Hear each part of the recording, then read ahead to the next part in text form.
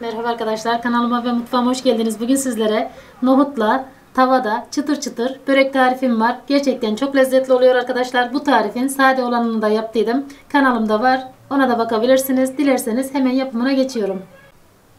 Öncelikle bir yumurtamı nohutumun üzerinden kırıyorum.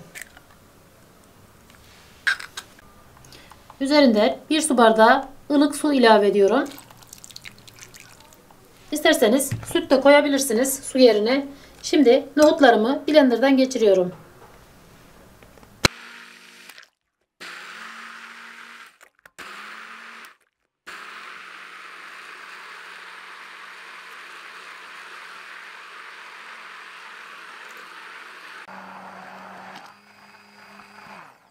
Pürüzsüz hale gelene kadar blenderdan geçirdim.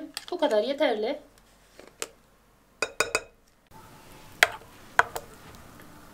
Şöyle de bakalım. İçinde iri parçacıklar kalmasın. Gördüğünüz gibi hiç de kalmamış. Üzerinden bir paket maya ilave ediyorum. 2 çay kaşığı tuz ilave ediyorum. Şöyle bir karıştırayım.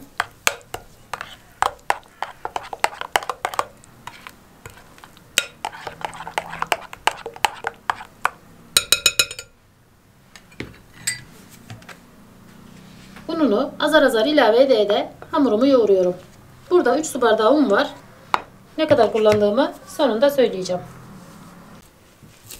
Hamurumu 6-7 dakika ele yapışmayacak bir hamur olana kadar özlüce yoğurdum.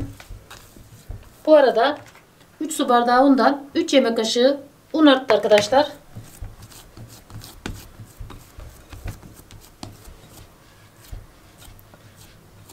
Bu yumuşaklıkta bir hamur elde edelim. Streçle kapatıyorum. Hamurumu 1 saate yakın hamur mayalanmaya bırakıyorum.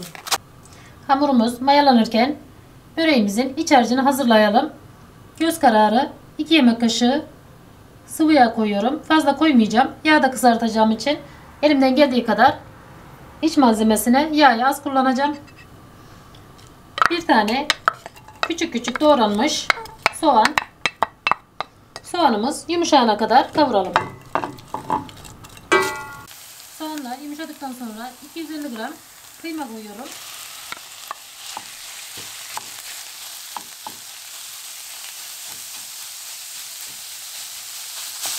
Kıymalar toparlanana kadar soğanla birlikte kavuralım. Hamurum çok güzel mayalandı.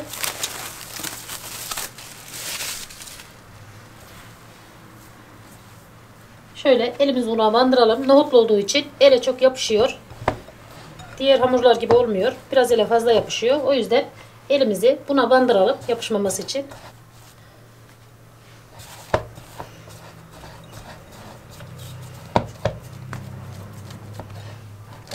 Masamızın üzerine bolca un serpiştirip hamurumuzu masanın üzerine alalım.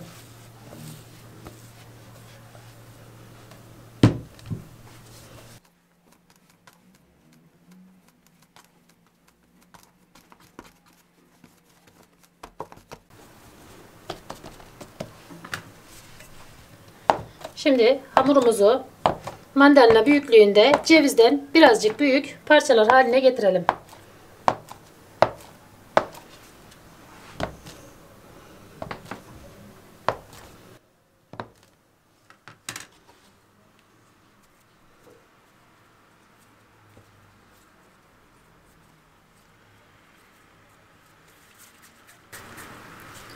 Cevizden birazcık büyük bezeler halinde bütün hamurlarımızı hazırlayalım.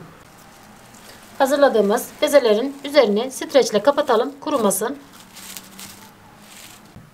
Şimdi hazırladığımız bezelerden bir tane alalım. Şöyle bolca una bandıralım.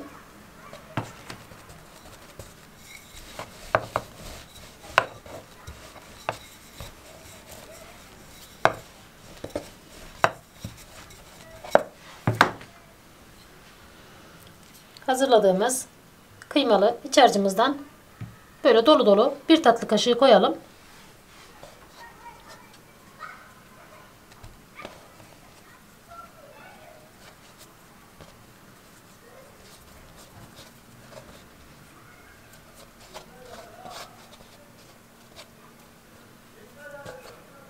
Şu uçlarını burada birleştirelim. Katı açılmasın pişerken.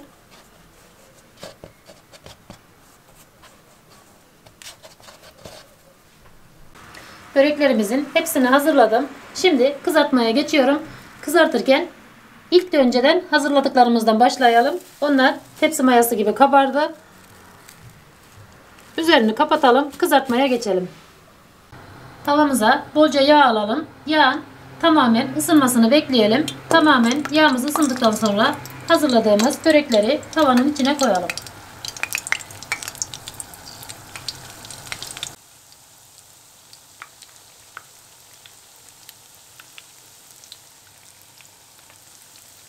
Şöyle kızarırken üzerine de kenarından kaşıkla yağ alıp üzerine koyalım. O zaman daha çok güzel kabarıyor. Altı kızaran böreklerimizi ters çevirelim. Gördüğünüz gibi çok güzel kabardı arkadaşlar. Çıtır çıtır da çok lezzetli oluyor. Dediğim gibi kanalımda şöyle içi boş olan da var. Simit şeklinde modelini verdim. Onu da kanalımda bakabilirsiniz. Ve çok güzel tariflerim var. Onlara da bakabilirsiniz. Gibi kızaran böreklerimi tavadan alıyorum. Gördüğünüz gibi çok güzel kızardı. Yerine yenilerini koyuyorum.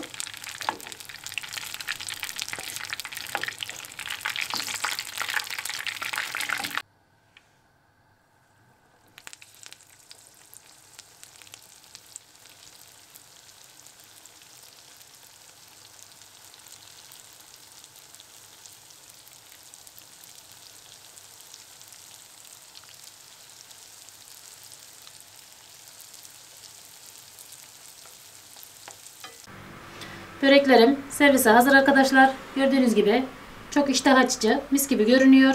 Şöyle de göstereyim. Nar gibi kızarttık. Şu anda çok sıcak. Gördüğünüz gibi çıtır çıtır nohutla çok da sağlıklı. Mutlaka denemenizi tavsiye ediyorum arkadaşlar. Şöyle de içine bakalım. Şöyle bir tane daha göstereyim.